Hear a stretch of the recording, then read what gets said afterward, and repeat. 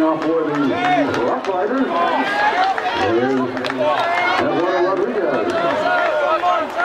Here we go.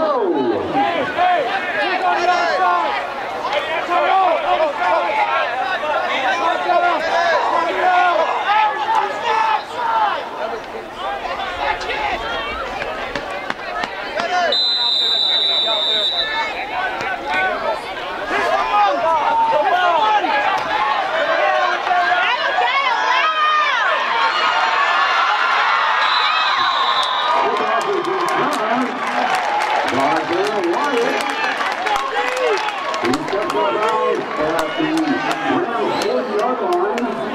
And that's where